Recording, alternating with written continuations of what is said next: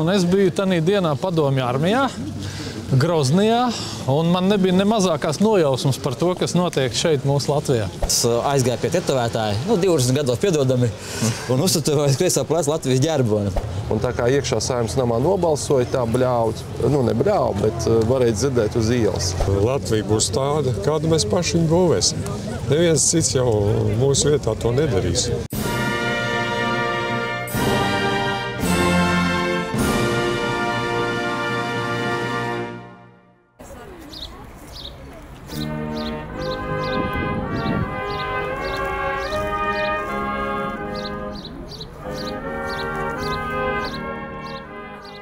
Edmunds, kādu tu at- atceries pirmo 4. māju, cik tev bija gadi tad?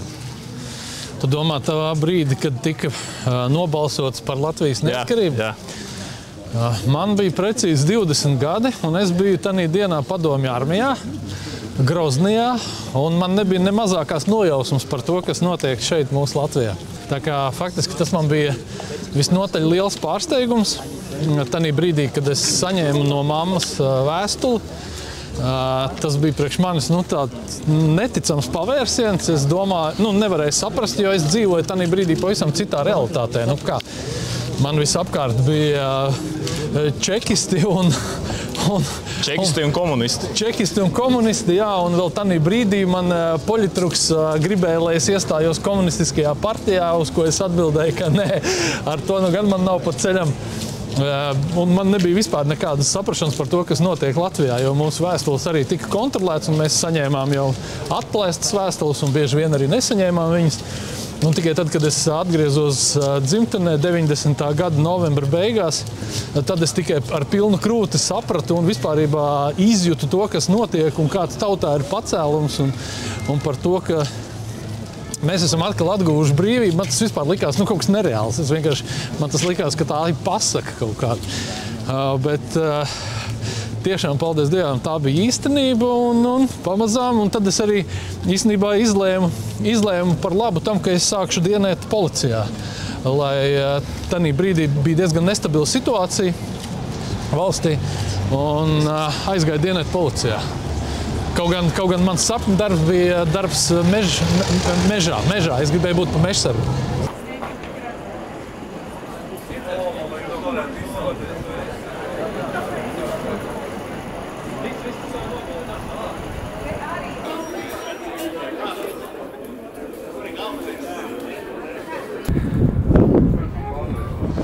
Mārci, kas tev ir 4. maija?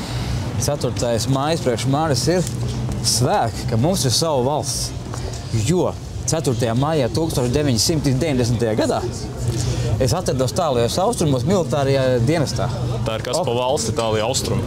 Tālajā austrumu tā bija uh, Birobidžāna pilsēta, Ebreja Autonoma Republika, PSRS tā laika. Un uh, divus gadus nodienēju. Un 4. maija bija 2. maija gads, gadskāres dienai, un man ar lielu novēlošanos, kā jau tur gandrīz 10,000 km no mājām pasiņas nāca, varēja pusgadu nākt ar sakarējušu desu. Un avīze, kas kādreiz bija padomju jaunatne, bija pārtapusi par Latvijas jaunatni. Un tur bija Latvijas ģerbonis, tur bija deklarācija. 4. maijā deklarēta tāda atjaunot ir Latvijas neatkarība. Pēc 50 gadu lielas pauzes, kopš 40. gada, kad Lat- Latvija neatkarību pazaudēja. Un, uh, es biju sajūsmā par to, jo tas bija mans sapnis. Es pārzināju vēsturi, pretēji tam, kā tajā laikā skolā mācīja. Man vecumā bija patriots, kas uh, zārkā gulēt Latvijas tautas. Un es zināju, ka to, ko skolā mācās, tas īsti neatbilst patiesībai. Es biju sajūsmā par to, un gāju pie komandieriem un teicu, es šeit dienestā atrodos nelikumīgi. Bet Protams, man nācās nodienēt visus divus gadus, bet tas, ko es izdarīju, uh, aizgāju pie tetovētāja, nu, 20 gados piedodami, un uztetovēju kreisā plēsa Latvijas ģerboni. Un tad man arī uh, dienesta biedri, gan krievi, tur latvieši, dažādi tās tautības, ja, viņiem patīk šis ģerbons. Viņi prasīja, kas tas ir, un es ar lepnumu teicu, tā ir mana valsts, mums ir sava valsts. Un, uh, Kad būs, kad kļūs siltāks, tev palūkšu viņu parādīt. Jā, labi. Un patiešām šī diena ir tā, ka mums ir sava valsts, neatkarīgi no tā, ka arī šobrīd ir saimā, jā, dažādas frakcijas, dažādi viedokļi, ir dažādas tautības mūsu valstī. Lai kā mēs tur dalītu un strīdētos, tāpat kā ģimenē, Tā ir tik un tā, tā ir ģimene, un tā ir mana valsts. Esmu lepns par to, ka man ir sava valsts, mums ir sava valsts, un es atzīmēju šo dienu šodien.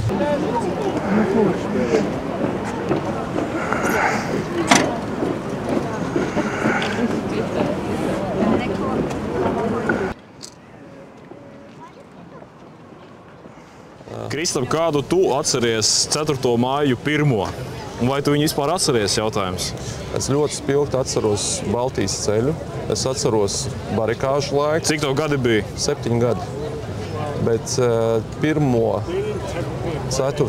māju es miglaini atceros to, kad mēs bijām netālu no saimnes nama un tika skaitīts balss.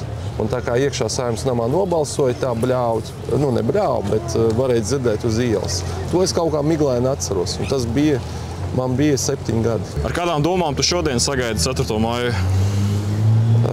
Protams, kā jau kurš Latvijas, es esmu ļoti laimīgs par to, ka mēs esam noturējuši brīvību jau 33 gadus, bet vienlaikus ā, mums ir jāsaprot, ka ir ļoti daudz izaicinājumu, kā piemēram sašķelta sabiedrība.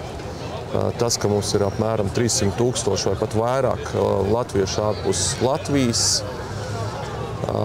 tas ir lietas, kas ir, manuprāt, ļoti, ļoti svarīgas. Un vienīgais veids, kā viņas risināt, ir apvienojot mūsu sabiedrību. Jo mums ir jāņem vērā, ka mums ir 60 tūkstoši Baltkrievu Latvijā, 60 tūkstoši Ukrāņu, 40 tūkstoši Poļu, pusmiljons Krievu, un viņiem visiem ir Latvijas pasi, bet pēc etniskās piedarības viņi ir citas tautības.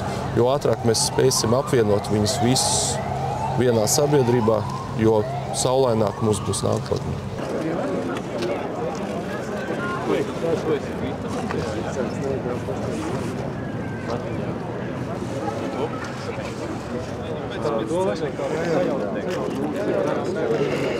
Bet viņi ir kaut kur tur. Vili, kas tev ir 4. maija? Nu, pats par sevi atceros 33 gadus vecus notikumus.